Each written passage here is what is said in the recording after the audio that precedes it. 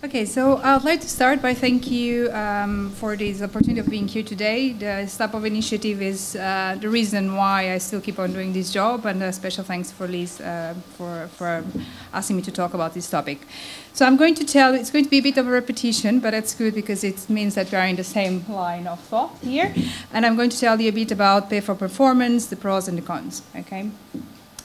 Um, Okay, so just uh, a definition of uh, pay for performance. I was quite surprised to see that the majority of the definitions that are defined in the literature or in policy documents, uh, to be frankly honest, tend to focus a lot on quality. But for me as an economist, pay for performance is a bit broader than that. So it's a, a range of uh, financial mechanisms that can be implemented in health systems to improve performance generally uh, uh, defined.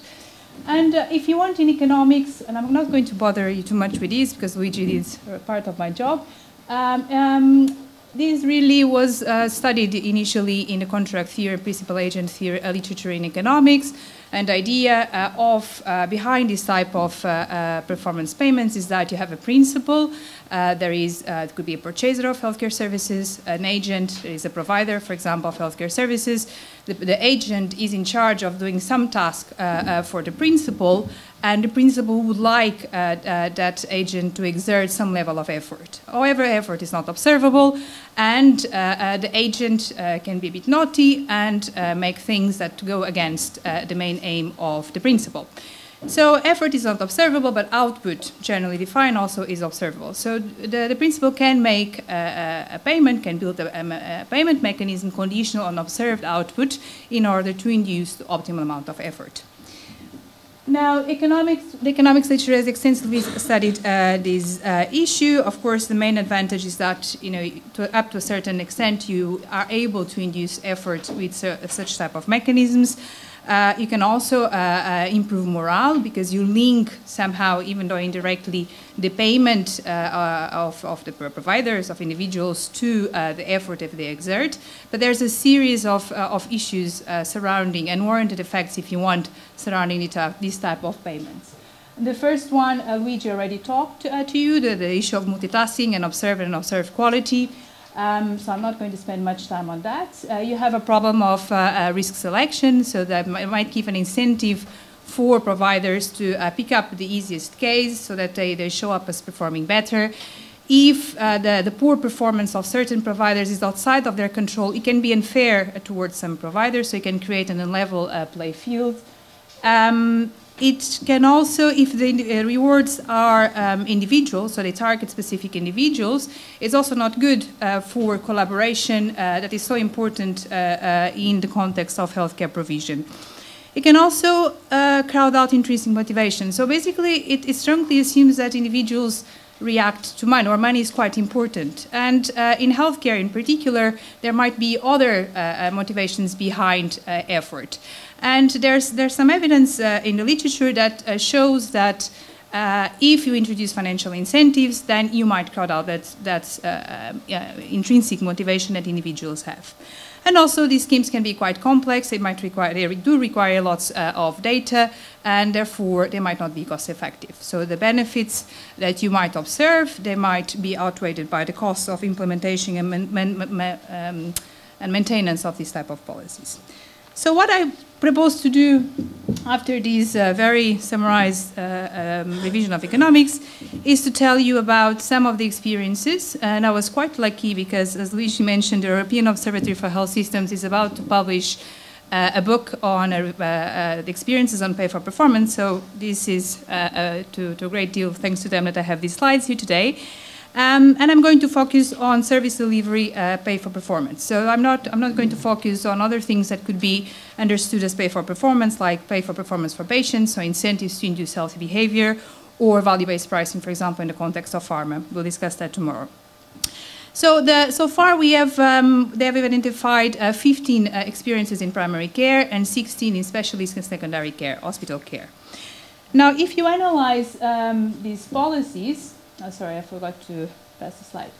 If you analyze uh, these, um, these interventions um, uh, in terms of the domains, uh, uh they tend to focus almost always on quality. So that, that, tends to be one of the major goals to improve the quality of provision of services. And maybe that's one of the reasons why the definition of uh, pay for performance in many policy documents is a financial incentive to, uh, to increase quality. Uh, now, quality is a very uh, broad term, and there are three types of quality that these interventions tend to target. Process quality, for example, adherence to best practice guidelines, so the processes of delivering healthcare, structural quality, IT, equipment, human resources, uh, and outcomes. Outcomes tends to be uh, not present in all, uh, all policy uh, experiences, and when they are, they tend not to focus on mortality and morbidity because it's extremely hard to link, uh, uh, first to measure uh, quality of care, but also to link it with performance. So when they focus on outcomes, they tend to focus on intermediate clinical output. There are other dimensions of these schemes, and I have to say that the majority of these uh, policies they tend to uh, uh, combine different domains of performance.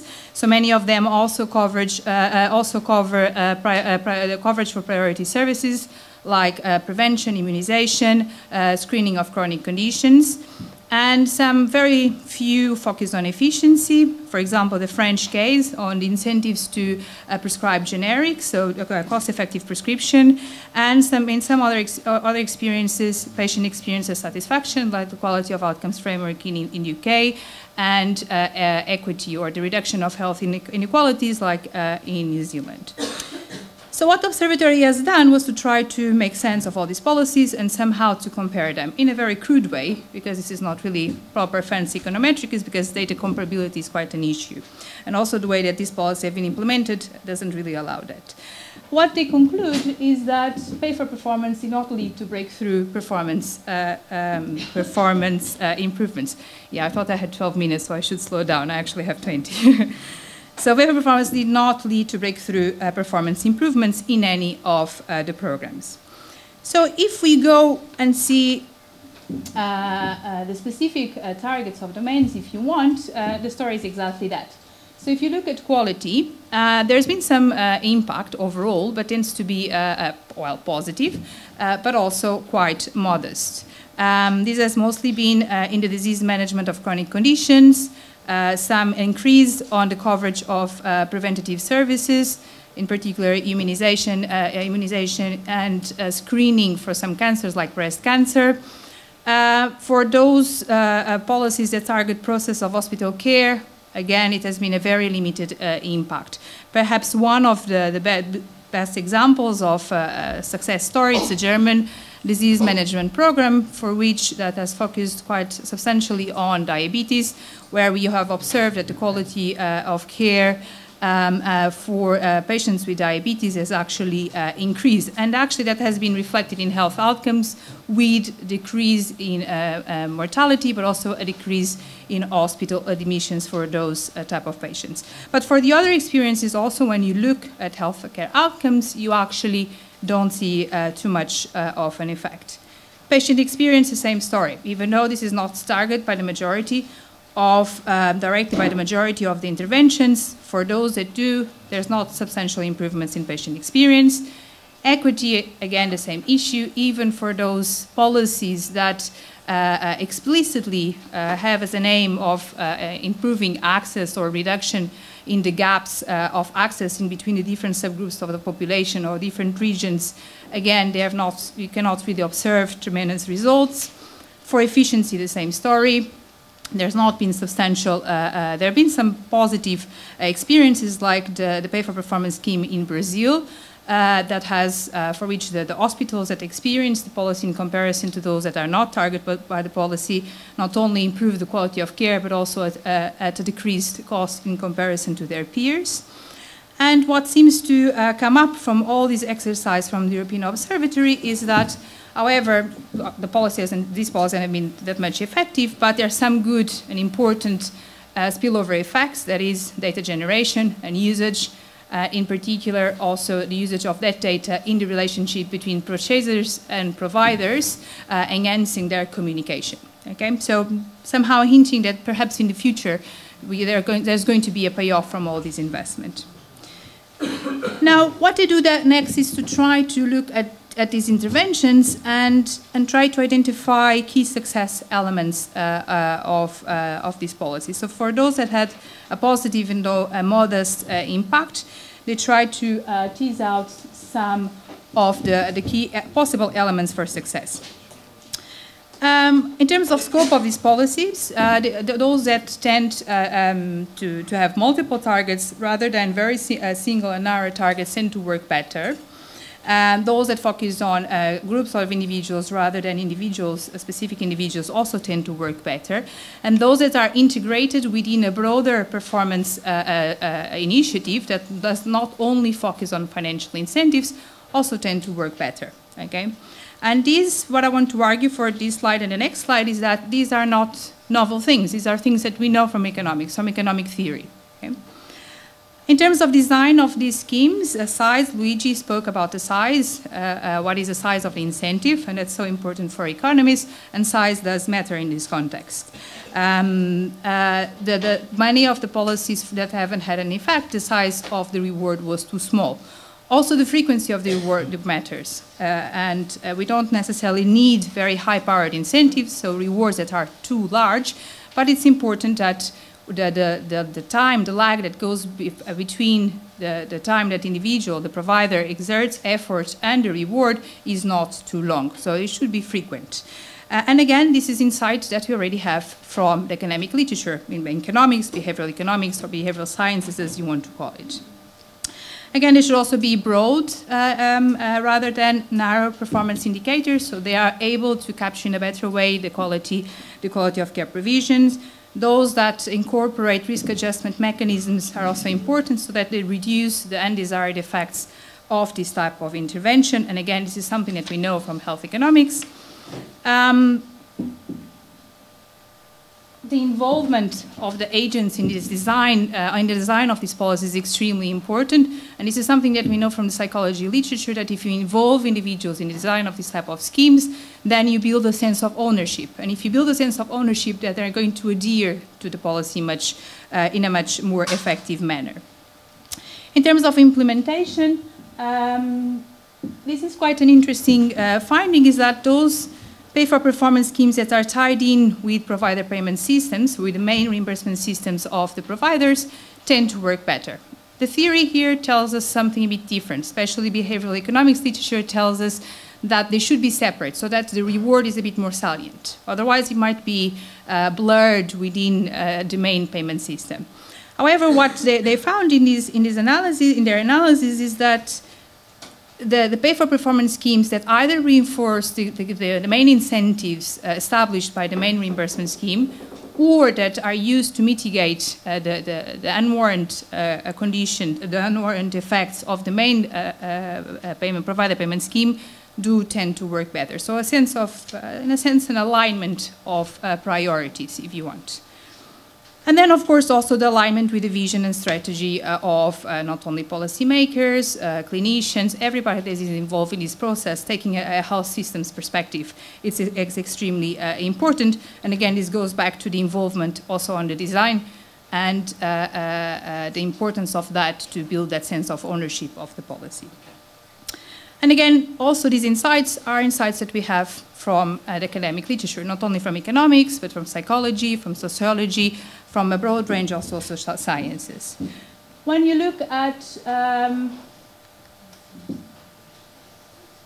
when you look at uh, the elements, and I think I've hidden here one slide, but there are also elements that weaken uh, incentives. Uh, one of the elements that they found is the complexity of uh, these interventions. Many of them have many indicators, and uh, providers just get a bit lost. And again, this is an insight that we have from behavioral sciences, uh, from also behavioral economics, is that individuals are not really able to process complex decisions when they are linked with financial uh, incentives.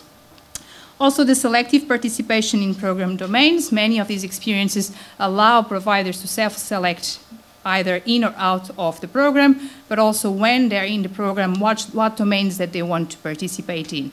And again, we know that there, there, this leads to a self-selection problem in the sense that only the best performers are going to apply, those that are performing quite badly, so for them it's not really good news, so they'll decide to stay out.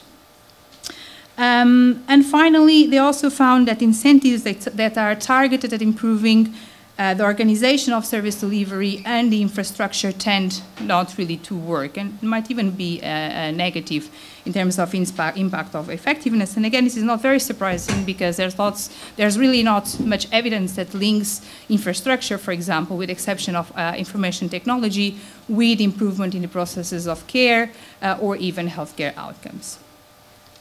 So my, I think, my, I guess my main message from, from um, this last part is to tell you that just observing the policy experiences without making any, uh, uh, without wanting to make any causality uh, um, uh, arguments here, it seems that lots of the propositions that are put forward for why these policies do not work seem to be quite close to what we predict uh, or what we, the models that we develop in economics, but also the theories that we develop in psychology and sociology.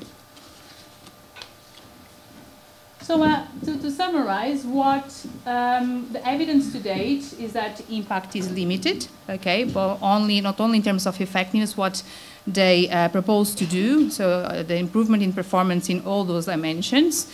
There's also not that much strong evidence of the unwarranted effects of the gaming. There are some, of course, uh, but they're not as strong as we would expect.